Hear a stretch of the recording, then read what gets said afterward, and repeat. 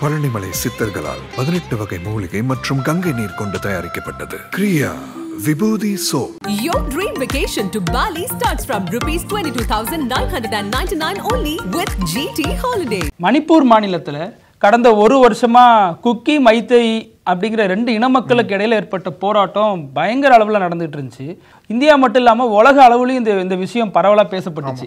இப்போ சமீபத்தில் மக்கள் வந்து அமைதியான இயல்பு நிலைக்கு திரும்பிட்டாங்க அப்படின்னு சொல்லப்பட்ட நிலையில இப்போ மறுபடியும் பெரிய விவகாரமா மணிப்பூர் விவகாரம் இப்போ வெளியில வந்திருக்கு. கிட்டத்தட்ட ராக்கெட் லான்ச்சர்லேருந்து என்னென்னமோ பேசுறாங்க.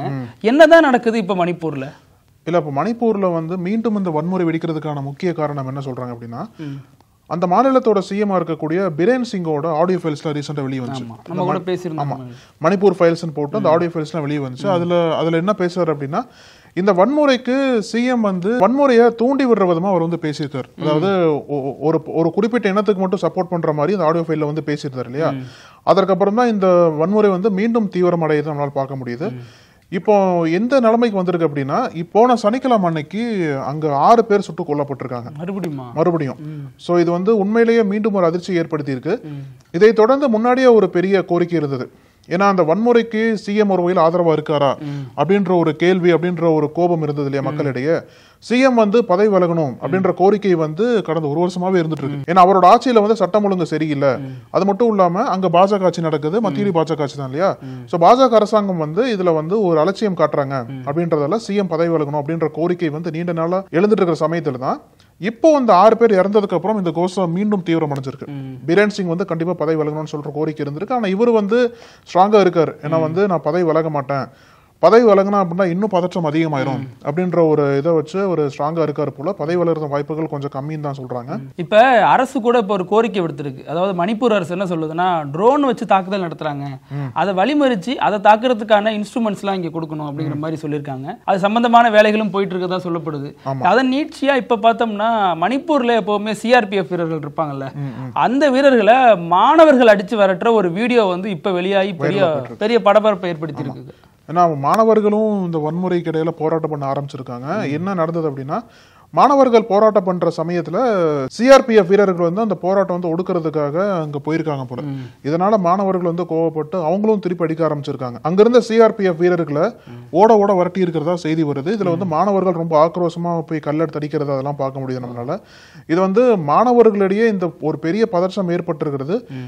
பெரிய வருத்தம் தக்க விஷயம் தான் ஏன்னா அரசியல் ரீதியா பல்வேறு போராட்டங்கள் இருந்தாலுமே அந்த போராட்டம் இந்த வன்முறை வந்து மாணவர்களிடையே ஒரு பெரிய பிளவை தூண்டுது அப்படின்ற கருத்து இருந்திருக்கு இல்லையா? ஏன்னா வீடியோல பார்க்கக்கூடிய மாணவர்கள் எல்லாமே கல்லெடுத்து அடிக்கிற அளவுக்கு ரொம்ப ஆக்ரோஷமா இருக்கிற மாணவர்களா தெரியுறாங்க. ஸோ அதனாலேயே வந்து இன்னும் பதற்றம் அங்க பெரிய அளவுல போயிட்டு இருக்குன்னு தான் சொல்லணும். இப்ப மணிப்பூர்ல நடக்கிற பதட்டத்தையும் பரபரப்பையும் சொன்னீங்க. அதை விட அதிக அளவுல அனல் பறக்குது மேற்கு வங்காளத்துல. இன்னமும் அந்த பயிற்சி மருத்துவ மாணவி இருக்காங்கல்ல. அவங்களுடைய கொலை வழக்கு இன்னமும் அடுத்தடுத்த கட்டத்துல பரபரப்பை ஏற்படுத்திட்டே தான் இருக்கு மேற்கு வங்கத்துல. இப்ப சமீபத்துல கூட ஒரு ஆளும் கட்சியை சேர்ந்த திரிணாமுல் காங்கிரஸோட எம்பி ஒருத்தர் ரிசைன் பண்ணிருக்காரு ஆமா. இது வந்து மம்தாவுக்கு உச்சகட்ட நெருக்கடியை தான் கொடுத்துருக்கு. நீங்க சொன்ன அந்த ரெசிக்னேஷன் எப்போ வந்துச்சு அப்படின்னா அவங்க பாலியல் வன்கொடுமை செய்யப்பட்டு கொல்லப்பட்டு ஒரு மாதம் முடிஞ்சது இல்லையா? ஆகஸ்ட் எட்டாம் தேதி நள்ளிரவு அவங்க வந்து படுகொலை செய்யப்படுறாங்க. இன்னையோட ஒரு மாசம் முடிஞ்சது இல்லையா? இந்த ஒரு மாசம் முடிஞ்சதுக்கு அப்புறமும் அங்க வந்து போராட்டம் எந்த விதத்திலும் குறையல. தொடர்ந்து போராட்டம் தீவிரமா போயிட்டு இருக்கிறது பார்க்க முடியுது. நேத்திக்கு கொல்கத்தா முழுக்க பல்வேறு பெண்கள் இணைஞ்சு ஒரு பெரிய அளவுல போராட்டம் பண்ணியிருக்காங்க. நீங்க சொன்னது போல எப்போ வந்துச்சு அப்படின்னா இந்த திரிணாமுல் காங்கிரஸோட எம்பி ராஜினாமா பண்ண சமயத்துல தான் இந்த போராட்டம் வந்திருக்கு. இந்த போராட்டத்துல பல்வேறு பெண்கள் அதாவது மருத்துவர்கள் இருந்து டெய்லி வேலைக்கு போற பெண்கள் இந்த மாதிரி பல்வேறு வேலைகள் இருப்பாங்க இல்லையா? எல்லா பெண்களும் சேர்ந்து இன்னும் வந்து இந்த இதுல நீதி வழங்கப்படல. தன்னெழுச்சியாவே போராடு ஆமா எல்லாம் போராட்டத்துக்கு வராங்க. ஆனா அவங்க என்ன சொல்றாங்க அப்படின்னா இதுல நிறைய பேர் சம்மந்தப்பட்டிருக்காங்க. எல்லாத்தையும் கைது பண்ணணும். எங்களுக்கு வந்து நீதி வேணும். அது மட்டும் இல்லாம எங்களுக்கு தொடர்ந்து பாதுகாப்பான ஒரு கம்யூனிட்டி வேணும் அப்படின்ற கோரிக்கை எழுப்பி தொடர்ந்து போராட்டம் பண்ணிட்டு இருக்கிற சமயத்துல தான் இந்த போராட்டத்துல அந்த பெண் மருத்துவரோட அம்மாவும் கலந்துக்கிட்டாங்க. அவங்க பெற்றோரும் கலந்துட்டு இந்த போராட்டத்துல பண்ணியிருக்காங்க. அதுல அவங்க அம்மா என்ன சொன்னாங்க அப்படின்னா இங்க போராட்டம் பண்றவங்க எல்லாருமே வந்து என்னோட பெ- என்னோ- என்னோட பொண்ணு மாதிரி தான் அப்படின்னு சொல்லிட்டு எமோஷனலா சொன்னாங்க. சோ அந்த போராட்டம்லாம் இந்திய அளவுல பெரிய தலைப்புச் செய்தி ஏற்படுத்தின சமயத்துல தான் மம்தா பானர்ஜியுமே வந்து ஒரு அறிக்கை கொடுத்து நீங்க எல்லாமே திரும்பி போங்க. இந்த விசாரணை வந்து சிபிஐ கைட்டு இருக்கு இப்போ சிபிஐ விசாரிச்சுட்டு இருக்காங்க. நீங்க எல்லாமே திரும்பி போகணும். அப்படின்னு சொல்லிட்டு ஒரு கோரிக்கை விடுத்தாங்க. இதுல இன்னொரு முக்கியமான விஷயம் இப்போ சுப்ரீம் கோர்ட்ல வந்து இந்த வழக்கு போயிட்டு இருக்கு இல்லையா? இதுல வந்து வெஸ்ட் பெங்கால் கவர்மெண்ட் ஒரு அறிக்கை தாக்கல் பண்ணியிருக்காங்க என்ன அப்படின்னா இந்த மாதிரி தொடர்ந்து மருத்துவர்கள்லாம் போராட்டம் பண்ணிருக்காங்க இல்லையா? அதனால அவங்க வந்து மருத்துவமனைக்கு போய் வேலை பார்க்க முடியல. ஏன்னா அப்பவே வந்து பெரிய டாக் இருந்தது. ஏன்னா இப்போ நீங்க போராட்டம் பண்ணீங்க அப்படின்னா உயிருக்கு போராட்டக்கூடிய பேஷண்ட்ஸ் எல்லாம் யாரு பார்ப்பாங்க? அப்படின்ற கேள்வி எழுந்த சமயத்துல தான் இப்போ இது இந்த போராட்டத்தின் காரணமாக இருபத்தி மூன்று மக்கள் அங்க இறந்திருக்கிறதா வெஸ்ட் பெங்கால் கவர்மெண்ட் வந்து அறிக்கை தாக்கல் பண்ணியிருக்காங்க சுப்ரீம் கோர்ட்ல இந்த அறிக்கையெல்லாம் வாங்கிக்கிட்ட சுப்ரீம் கோர்ட் வந்து சிபிஐட்ட ஒரு ஆர்டர் போட்டிருக்காங்க.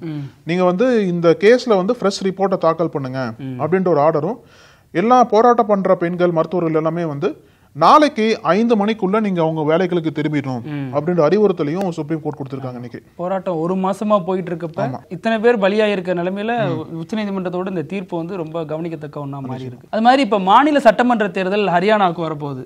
அந்த ஹரியானால வந்து இப்ப முக்கியமான ஒரு கட்டளையை பாஜக தலைமை பிறப்பிச்சிருக்கு. சமீபத்துல ஒலிம்பிக் வீரர்கள் ரெண்டு பேர் வினோஜ் போகத் பஜ்ரங் பவுனியா ரெண்டு பேருமே இப்ப காங்கிரஸ்ல இணைஞ்சாங்கல்ல. ரெண்டு பேருக்கும் இப்ப ஒருத்தருக்கு வந்து காங்கிரஸோடைய விவசாய பிரிவு செயலாளரா பதவி கொடுத்திருக்காங்க. இன்னொருத்தர் வந்து தேர்தலில் போட்டியிட வாய்ப்பு கொடுத்திருக்காங்கல்ல. இந்த நேரத்துல இவங்களை வந்து பாஜக விமர்சிக்குது. குறிப்பா யாருன்னு பாத்தீங்கன்னா இவங்க யாருக்கு எதிராக போராடினாங்களோ கடந்த காலங்கள்ல. மல்யுத்த சம்மேளனத்தோட முன்னாள் தலைவரும் முன்னாள் பாஜக எம்பியுமான பிரிஜ்பூஷன் சிங் இருக்கார்ல. அவர் வந்து இவங்களை சொல்லியிருக்காரு என்னன்னா என்ன வந்து குற்றம் சாட்டினதுக்கான காரணம் இப்ப புரியுதா? அவங்க பின்னாடியில யார் இருந்திருக்காங்க தெரியுதா? இந்த காங்கிரஸினுடைய தூண்டுதனால தான் அவங்க அப்போதைக்கே என் மேல புகார் கொடுத்து போராடினாங்க. இப்ப வெட்ட வெளிச்சமா வந்துடுச்சுன்னு இவர் ஒரு பேட்டி அளிக்கிறாரு. ஏற்கனவே பாஜகவுக்கு வந்து ஹரியானால பெரிய தலைவலி இருக்கு. ஒரு பக்கம் ஜாட் சமூக மக்கள் வந்து பாஜகவுக்கு எதிரான மனநிலையில இருக்காங்க. விவசாயிகள் எதிரான மனநிலையில இருக்காங்க. சொந்த கட்சிக்காரங்களே கட்சியை விட்டு வெளியேறாங்க இப்படி பல நெருக்கடியில இவர் வேற ஏன்பா கொஞ்ச நேரம் சும்மா இருங்கப்பா அப்படின்னு சொல்லிட்டு இதை பத்தி இனிமே பேசக்கூடாது அப்படின்னு அவருக்கு தடை போட்டிருக்காங்க. முன்னாடியே வந்து பாஜக எம்பியா இருக்கக்கூடிய கங்கனா ரணாவத்துமே பல்வேறு சர்ச்சைகள் கருத்து சொன்னாங்க இல்லையா? விவசாயிகள் போராட்டத்தை பத்தி கொச்சைப்படுத்துறதுதான் பேசினாங்க. அவங்களுக்கும் பாஜக வந்து இதே மாதிரி எச்சரிக்கை கொடுத்தாங்க. அது அவங்களோட தனிப்பட்ட கருத்துன்னு சொல்லிட்டு கட்சி வந்து தனிப்பட்டு நில்லாங்க இல்லையா? இப்போ அதை தொடர்ந்து தான் பிரிஜ்பூதன் சரண் சிங்க்கும் இந்த உத்தரவு போயிட்டு இருக்கு. ஹரியானால தேர்தல் வருது நீங்க வாட்டு வேற எதுனா பேசி கொலை போட்டுறாதீங்க. ஏற்கனவே கட்சிக்கு பல நெருக்கடி இருக்கு அப்படின்ற ஒரு எச்சரிக்கை கொடுத்திருக்காங்க. இப்போ ஒரு பக்கம் பாஜகவை சுத்தி இருக்கக்கூடிய நெருக்கடிகள்லாம் பார்த்தோம். இன்னொரு பக்கம் காங்கிரஸ்க்கும் ஒரு பெரிய நெருக்கடி போயிட்டு இருக்கு ஏன்னா இந்தியா கூட்டணியோட மிக முக்கியமான சட்டசபை தேர்தல் வந்து ஹரியானா தேர்தல் தான். பார்லிமெண்ட் தேர்தலுக்கு அப்புறம் சட்டசபை தேர்தல் பேசணும்னா ஹரியானா தேர்தல் தான் முதல் முறையா இந்தியா கூட்டணி சார்பா போட்டியிட போறாங்க. அதுல காங்கிரஸ் வந்து ஒரு மேஜர் பிளேயரா இருக்க போறாங்க. காங்கிரஸ்க்கு அப்புறம் ஹரியானால வந்து ஆம் ஆத்மி சமாஜ்வாதி பார்ட்டி ஃபுல்லாமே இருக்காங்க இல்லையா? சோ இந்த ஹரியானாவில் இருக்கக்கூடிய தொண்ணூறு தொகுதிகள்ல எத்தனை தொகுதி ஆம் ஆத்மி கொடுக்கப்படணும் அப்படின்ற பேச்சுவார்த்தை வந்து ரொம்ப நாளாவே போயிட்டு இருக்கு ஒரு பக்கம் காங்கிரஸ் வந்து ஆம் ஆத்மிக்கு அஞ்சு தான் கொடுப்போம். அப்படி இவங்க பேச ஆம் ஆத்மி வந்து இல்ல இல்ல நாங்க வந்து வளர்ந்து வர கட்சி எங்களுக்கு வந்து அங்க ஸ்ட்ராங் ஹோல்டு அதிகமா இருக்கு. பஞ்சாப்ல ஆளுங்கட்சி நாங்க அது மட்டும் இல்லாம ஹரியானாவில் நாங்க வந்து ஓட் பேங்க் இருக்கு. எங்களுக்கு வந்து குறைஞ்சது பத்து தொகுதி வேணும். அப்படின்ட்டு இவங்க விடாப்படியா நிக்க ரெண்டு பேருக்கும் ரெண்டு கட்சிகளுக்கு இடையே இழுபறி நீண்ட நாளா போயிட்டு இருக்க சமயத்துல தான் இன்னைக்கு ஏறக்கூடிய இதுக்கான முடிவு தெரியும் அப்படின்னு சொல்லிட்டு பல்வேறு செய்திகள்லாம் சொன்னாங்க இல்லையா? இப்போ இன்னொரு முக்கியமான விஷயம் என்னன்னா ஆம் ஆத்மி வந்து இப்போ வந்து அடிச்சு ஆட ஆரம்பிச்சிருக்காங்க காங்கிரஸ் ஆம் ஆத்மி கட்சியோட ஹரியானா மாநிலத்தோட தலைவராக இருக்கக்கூடிய சுசில் குப்தா என்ன சொன்னார் அப்படின்னா ஒருவேளை காங்கிரஸ் வந்து எங்களுக்கு நாங்க கேட்ட தொகுதிகளுக்கு தரல எங் நாங்க கேட்ட இடங்களை தரல அப்படின்னா நாங்க தன்னிச்சையா போட்டியிட தயாரா இருக்கோம். இன்னைக்கு சாயங்காலத்துக்குள்ள இந்த தொண்ணூறு தொகுதிகளுக்கான வேட்பாளரை நாங்க அறிவிக்க போறோம் அப்படின்ற ஒரு அறிக்கையை வந்து பகிரங்கமா கொடுத்திருக்காரு.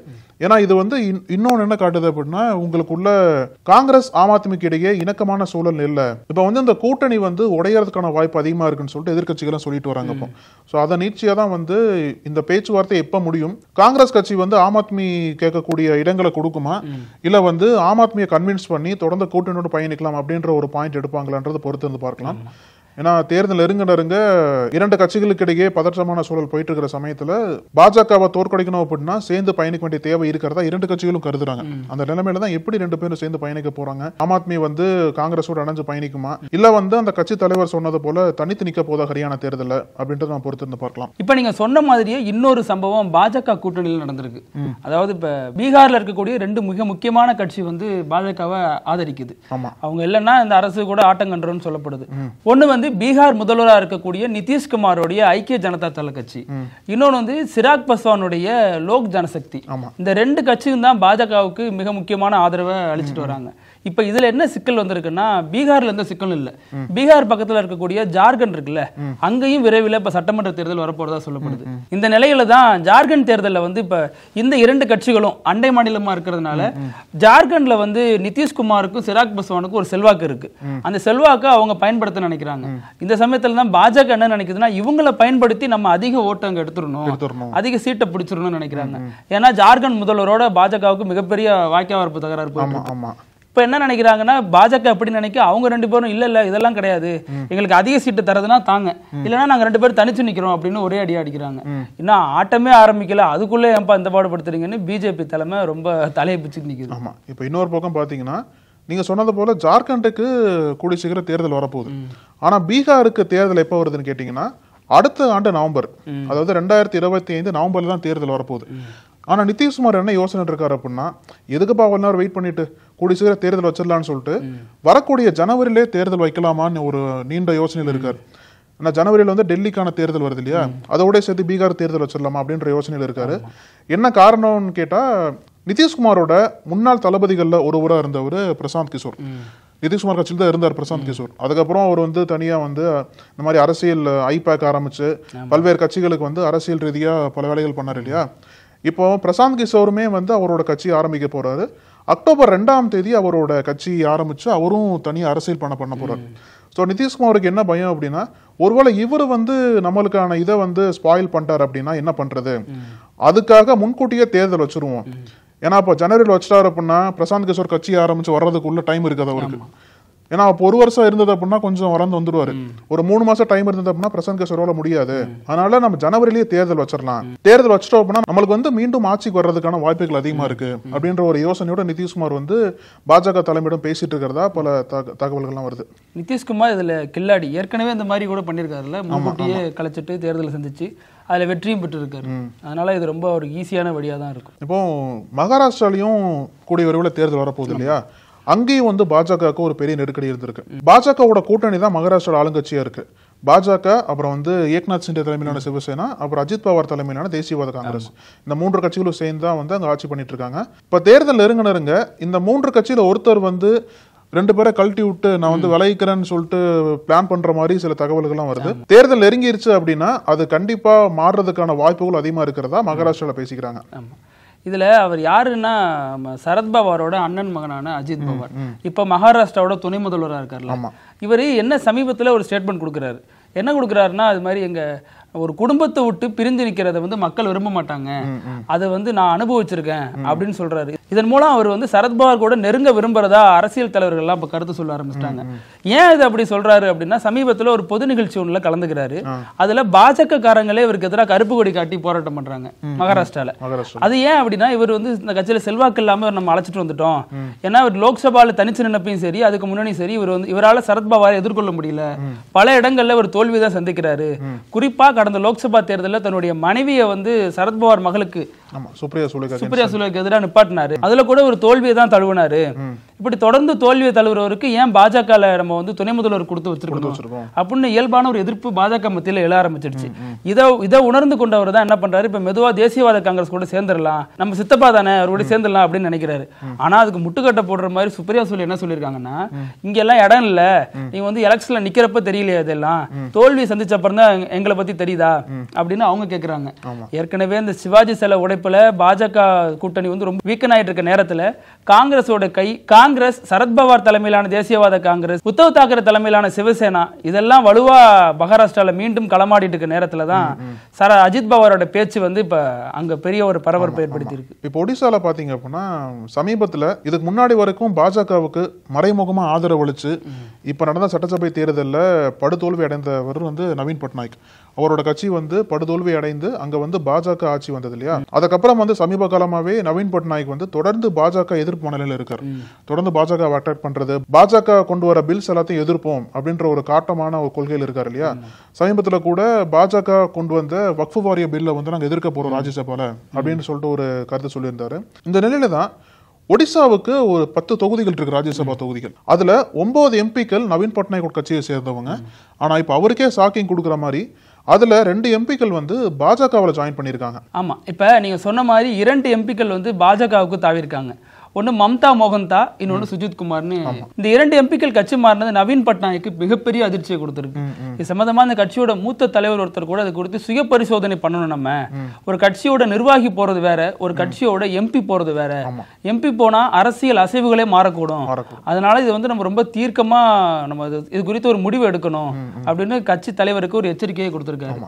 இது வந்து ஏற்கனவே பாஜக வந்து தனக்கு எதிராக அரசியல் பண்றவங்க கட்சியை உடைக்கும்னு சொல்லிட்டு இருக்க நிலையில இந்த இரண்டு எம்பிக்கள் கட்சி மாறினது அந்த மாநிலத்துல ஒரு பெரிய பரபரப்பை ஏற்படுத்தியிருக்கு ஆமா. சமீபத்துல தமிழக அரசுக்கு ஒரு மிகப்பெரிய நெருக்கடி வந்துச்சுன்னு தான் சொல்லணும்.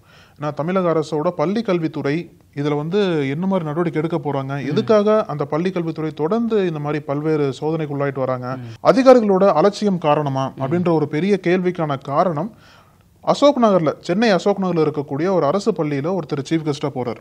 அவர் சீஃப் கெஸ்டா போயிட்டு அங்க பேசின பேச்சு இருக்கு. அதுவும் மாற்றுத்திறனாளி ஆசிரியர்கிட்ட அவர் நடந்த விதம் இருக்கு பாத்தீங்களா? மகாவிஷ்ணு தான் போய் எங்க சீஃப் கெஸ்டா கலந்துட்டு அங்க இருக்கக்கூடிய ஸ்டூடெண்ட்ஸ்ல வந்து ஒரு உரை நிகழ்த்துறாரு. அந்த உரை வந்து மோட்டிவேஷன் உரையா இல்லாம எப்போ ஆன்மீகமா மாறுதோ அப்பவே வந்து மாற்றுத்திறனாளி ஆசிரியராக இருக்கக்கூடிய சங்கர் வந்து உடனே டக்குன்னு எந்திரிச்சு கவுண்டர் பண்றாரு. இது வந்து ஆன்மீக உரையா இல்ல மோட்டிவேஷனல் உரையான்னு சொல்லிட்டு டக்குன்னு கேள்வி எழுப்ப போறாரு. இப்ப பல்வேறு செய்திகள்லாம் சொல்றாங்க. மகாவிஷ்ணு வந்து டென்த்து தான் படிச்சிருக்காரு. ஆமா. ஆனா சங்கர் வந்து பிஹெச்டி வரைக்கும் படிச்சிருக்காரு. ஏன்னா உண்மையிலேயே வந்து மத்திய அரசின் சட்டத்தின்படி அரசு நிதி பெறும் பள்ளிகள்ல எந்த விதமான ஆன்மீக சொற்பொழிவு நடத்துறதுக்கு தடை. ஆன்மீக சொற்பொழிவு நடத்தவே கூடாதுன்னு சொல்லிட்டு மத்திய அரசு சொல்றாங்க இல்லையா? அதையும் மீறி இங்க இருக்கக்கூடிய அரசு பள்ளி இவரை கூப்பிட்டு ஒரு ஆன்மீக ரீதியா சொற்பொழிவு பண்ணது.